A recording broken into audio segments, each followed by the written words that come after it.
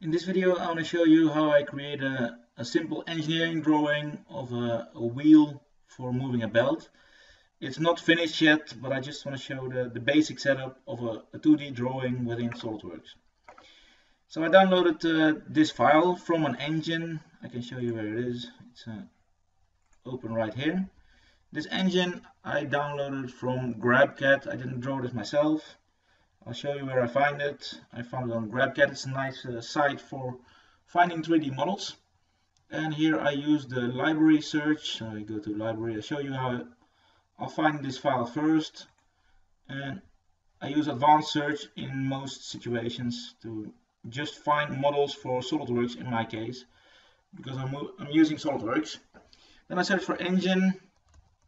And then you will not yet find this model that I just had open because now it's showing you the, the most recently added ones. I want to have the most downloaded files so I'll, I'll know. There'll be some some nice engines but they're not all set up properly. Like uh, I tried this one here and there's something wrong with it usually. Like it's for example just one part or it's surfaces. So I scrolled through some models and to really know whether or not a file is usable you'll first have to look at it. So I found this model around page 5. I thought it was uh, page 6. This one here. See a lot of engines. And let me see where it was. Ah. It was on page 6 just now, but now it's apparently moved a little again. So many files are uploaded continuously. And doesn't matter I'll just look for Briggs in that case. That was the name of the engine that I found. And here you see it. this uh, this is the one I downloaded. And as you can see I also liked it. I pushed this button and I like the model because it's uh, set up very nicely.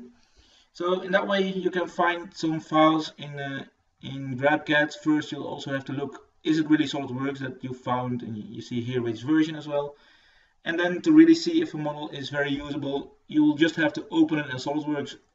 And if it's not usable, you'll just have to look for another one. So then I'm going to open this file and create a 2D drawing of it. I'll open it.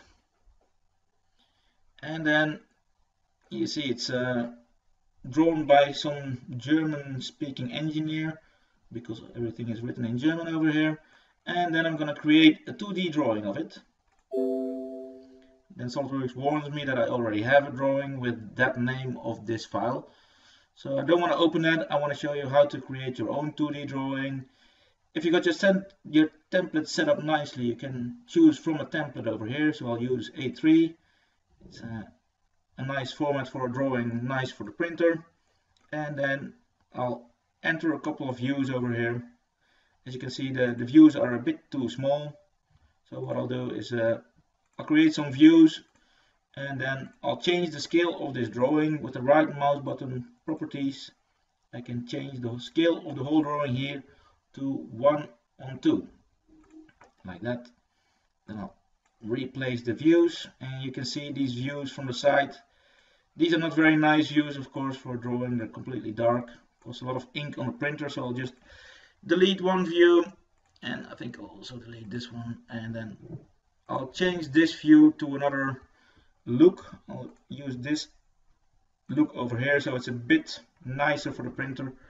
And also for this uh, this view I can change to shaded with edges.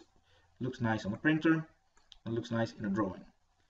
So now I've got the model inside my 2D drawing and then I want to add dimensions and the easiest way to do that is with this button. It will enter a lot of dimensions in your drawing at once. As long as you select entire model, it will enter a lot of dimensions in your drawing. Like that. And they're not very nicely placed yet, so we'll have to change that. And that's easy to do that in SOLIDWORKS. You just select all dimensions with a box select and then you wait. Don't move your cursor too fast. Then this button here will appear. And with this option, SOLIDWORKS will arrange the dimensions in a pretty nice way.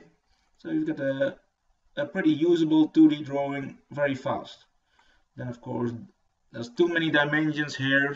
So you have to delete a couple and add a couple of other ones.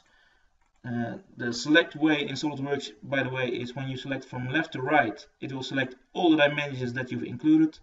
Whereas in this case, I can better select from right to left. I'll just zoom in a little. Um, like this. I can easily select those two dimensions if I want to delete it. And you'll see the other dimensions just shifting nicely to move over. And like this, I've already set up a, a basic drawing. Of course, you'll have to uh, enter a lot more dimensions. There's a lot of tools here to set this drawing up nicely. And since uh, the 2014 version, you also have angular running dimensions. So let me see that how that works. I have to look at, I have to look into how that works. It's new in 2014. You can easily uh, enter the circular dimensions over here in uh, the, the pattern of these holes in this wheel. But anyway, this is what I wanted to show about the 2D drawings. Thanks for watching.